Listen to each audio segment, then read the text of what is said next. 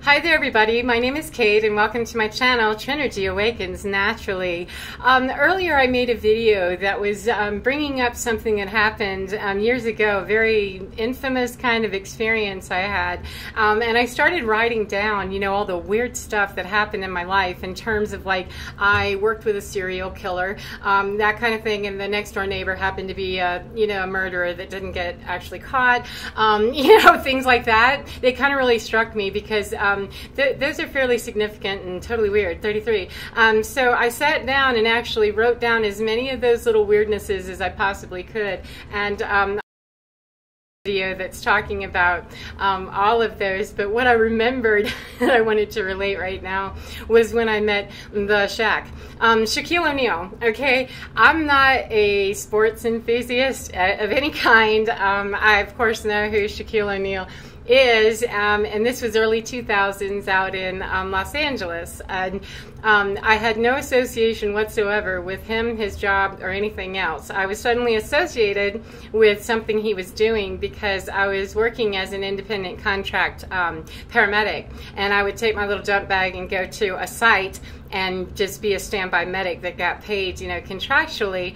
Um, I did that for a very brief time. You know, unfortunately, it was only brief because it was great money. But um, I was asked to go over to um, where they were going to be making a commercial, and that Shaquille O'Neal is in this commercial. And so I thought, okay, cool, no problem. You know, and I understand that to a lot of people, um, they would be absolutely crazed over the idea that they'd be that close to him. And there are certainly people that I feel the same way about. It's just I don't happen to share um, that enthusiasm for basketball or sports in general that I had a great appreciation. And I was super excited because, you know, I'm dorky. I just moved out to Los Angeles, you know, with my ex husband's job. And, you know, I'm going to get to go and um, see what commercials are about. And, you know, there's famous people. That's just kind of neat, you know. Um, never had a huge interest in it, but, you know, it certainly was um, adding to the fun of being a, a contract medic. So um, I was asked to go and do, I think it was an icy hot commercial or something. And, um, they were video, uh, filming it, right? And so I get there and I'm just supposed to cover that. I have to just be somewhere, you know, in the vicinity that they can go, hey, there's medical staff.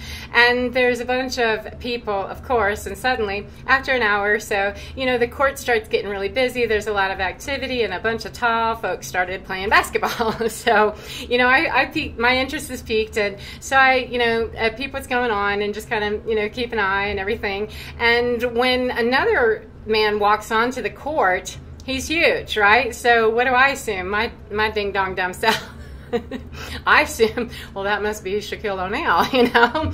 Um, here's where it gets raw about how embarrassing it is to meet somebody famous that you don't really know who they are. Um, I went up there, they were on, went on a break, you know, after a few minutes they played, and um, they went on a break and so while it was they were taking like a half hour break and stuff and so i went over to the one that you know came on and everything that that looked like he was the most important one right the central figure um, and he kind of was he was the stand-in for shaquille o'neal but I walk up to him, ignorant as I can be, and I'm like, hey, you know, how are you? And um, he's just chatting with me. He's very nice, this man that's not Shaquille O'Neal. Um, and I said, I was just wondering, I've got a friend that's a huge fan of yours, you know, um, and I, I don't even have paper. How embarrassing. I didn't even have paper. I had nothing. I had a pen because, you know, medics always have a pen, but I had no paper. And so I had gone over and gotten a four by four bandage out of my jump bag and came back, scrounged a pen from somebody, and came over and I was like, you know, just chatting with him. I said, oh, this is really nice, you know, and I introduced myself. I said, I was just wondering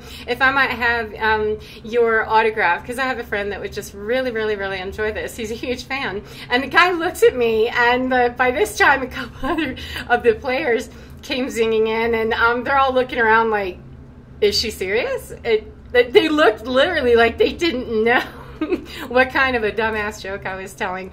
And then it only took a couple of seconds for them to figure out that the dumbass joke is not telling a joke, she's being a joke. that that's not Shaquille. And the guy was so nice. I mean, he really, they were very, very kind. 434. That this guy said, um, I'm the stand-in. I, am just warming up the team. Um, the Shaq won't be here for a few more minutes. And then I, I still, you know, I was young and goofy, early 2000s, younger and goofier. You know, now older and goofy, but just even goofier then. And so I said, well, how will I know? well, it's not me. That'll be your first clue is it's not me, you know? by this time he's having a good time. And i was too kind of. I mean i was like yeah it's you know i, I don't know who these people are but i'm just super dedicated to getting this autograph because my friend would really appreciate that.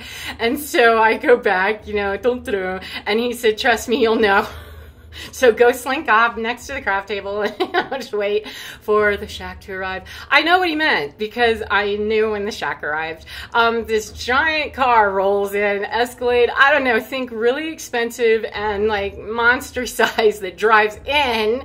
Next pulls up courtside. I don't know how that happened. I mean, I'm not into that stuff, so I'm busy like just being amazed and amused at this point that wow, cool. You know, if this isn't Shaquille, wait till he does come. Um, but I'm getting an autograph from somebody that says they're Shaquille O'Neal one way or another, 555. So I can go um, and wait for the whole rollout. And dude, I didn't even realize that when Shaquille O'Neal got out of that car and walked over to the court, he was still even taller than the dudes that I had been asking already. So I mean, I I felt really quite the ignorant then that, oh, I see now why they're laughing and chuckling and wondering what kind of moron asks if I'm Shaquille O'Neal and can you have my autograph? You you want the stand-ins autograph? Oh, okay. So anyway, they they play. I'm mesmerized. We don't have cell phones back then, not the fun ones that I could be taking video or anything cool like that. Darn it! But um, they're playing. They do their thing. They shoot some some of the commercial, and they're going to go on a, a half an hour break again. And so me and my little four by four, I'm determined. You know, my friend's husband got to get his his things because he's just into it, right? Super huge fan. And so I go trucking up there and I, I, I do the same spiel, you know, and the other players are kind of like, like okay, she's coming back. she's lurking and she's circling, you know, time number two. So I go in and I want you to know that I don't know a thing about him. I don't know what he does and I don't know a thing about him other than the interaction that I had with this enormously tall man with enormously huge hands. I mean, everything about him is, is gigantic, correct? Well, I got, walked up to him and I said, you know, may I, I've got a friend, he's a very huge fan, you know, and um, et cetera, et cetera. I said, is there any possibility? Said, I'm so sorry, this is really tacky. You know, it's not something that, you know, I would generally do on my job, but I just know that my friend would really appreciate this. Um, he's really into it. And he was so gracious he was absolutely so gracious and he said yeah sure absolutely. Takes that little pen that i've scrounged around and finally found to, to ask me what the guy's name is i think i don't know four by four sign whatever get it back. And i'm gonna slump away because i'm i'm super feeling the good lord you know what you'll do um, for your friends. Uh, that okay i'm starting to kind of slink away and he says hey i got a question for you. Um, yes um, he said he apparently had just had um, a baby um, he, he, and his wife had just had a baby uh, and maybe just a couple of months old if that and he says um, can you tell me how to do cpr on an infant and i said well um, sure, you know, yeah. I said, okay. I said, give me your hand, you know, and he gives me his hand. I wasn't expecting that. Um, he flops out his hand and I, like, because I first started to just explain to him, I said, well, the age of that child, you just, it's only a couple fingers, you know, and be calling 911 before you start. You know, get somebody calling that 911 while you're doing that very, very thing. And I said like this, and, and he his hands, you know, and he goes like that.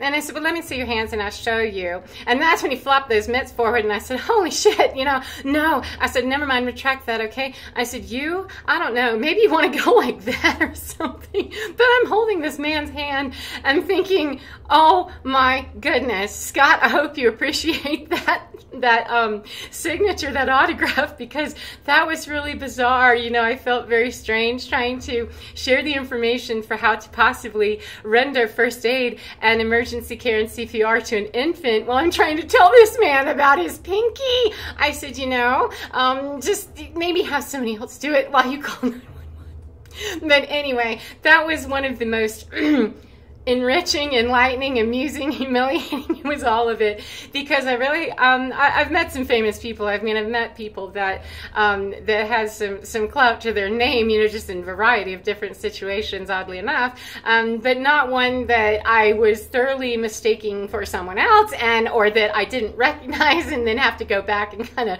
schlump in. But um, the man was absolutely priceless. He was very, very, very um, uh, cool, professional, you know, and and just kind. You know, he was very sweet. But of all the things, you know, um, working with a serial killer is pretty odd. But meeting Shaquille O'Neal, um, that definitely balances out the other side of it because he was very gracious. And the next time I saw that commercial, I had to laugh just as a sidebar that the first time, the only time that I saw that commercial, um, of all the time that I spent there on set that day, or uh, whatever they call that out there um, at the studio.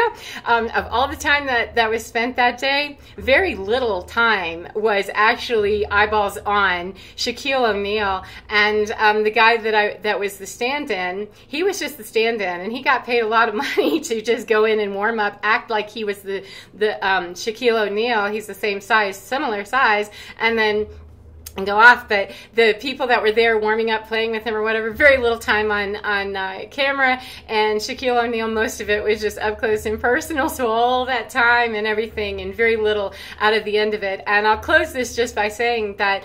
Um, that on my way out of that studio that day, or no, there was another day I was at uh, America's Most Wanted. No, America's Most Talented.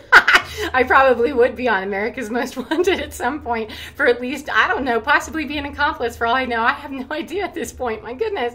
Um, but I was at America's um, Most Talented. It was one of their, their very first, you know, um, audition waves. So, I mean, it, there was no one, no one there of importance except for the thousands of people that were there and, you know, outside, you know, in their first, first cut. So um, I was there for that and I was going home and I, it was so weird because because I was walking on a sidewalk in these studios. Um, they, are it's like a little city within you know the city, and anybody that's been there, you already know that. But for someone who has not, it didn't. I, I didn't. I wasn't familiar. You know, it's my first time here.